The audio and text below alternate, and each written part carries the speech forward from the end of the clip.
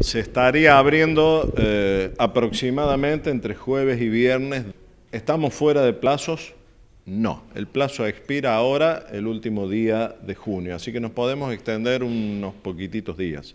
Eso, si ustedes buscan, se planteó de entrada ante eventuales imprevistos por las inclemencias del tiempo, por si eso se debía demorar o encontramos alguna falla importante a nivel piso.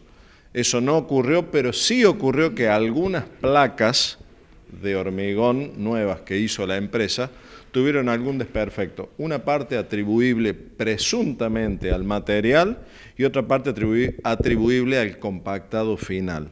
De manera que nuestros ingenieros, ¿qué hicieron? Observaron todas esas placas y pidieron la reparación porque por supuesto el trabajo no está terminado y no tiene el certificado final de obra.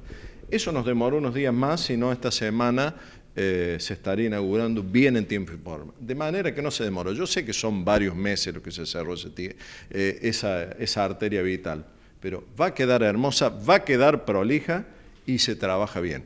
La otra cuestión, eh, pedirles por favor que no la pisen, no circulen, porque la van a romper y se va a romper antes de tiempo. Y después lo, primero que hacemos es salir a buscar responsables y culpables. La sociedad no funciona así funcionemos un poco de manera más racional y seamos respetuosos, porque se está invirtiendo mucho dinero gracias a la prolija administración y la obra va a quedar hermosa. Así que a pedirle a todos a no tirar basura, a no tirar botella, a usar los cestos. Cruzan en motos, en vehículos semilivianos, por las pasarelas del puente. Bueno, todo eso además de ser un peligro porque es circulación prohibida, si ahí ocurre un accidente no cubre ni carne de conducir ni absolutamente nada. Aclaro esto.